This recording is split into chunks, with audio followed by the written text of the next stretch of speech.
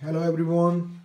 This is going to be your uh, driving test center in Leeds. This time is going to be your test center called Horsforth Test Center.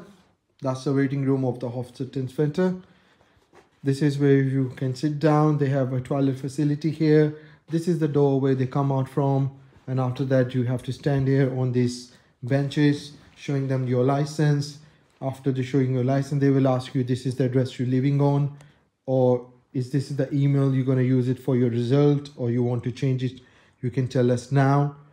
And then after that they say do you want your instructor to go with your test or he want him to listen to debrief event so that will be all your choice after that. So yeah. So that's a quite cozy place. Heaters are on so nothing to worry about. You go to toilet so don't rush to go toilet. Waste your time. You can come here and use it